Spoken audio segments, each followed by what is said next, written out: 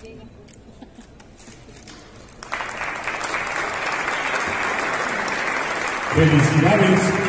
Juan, por tu deseado aniversario de un ayuntamiento actual, contigo y con grupo.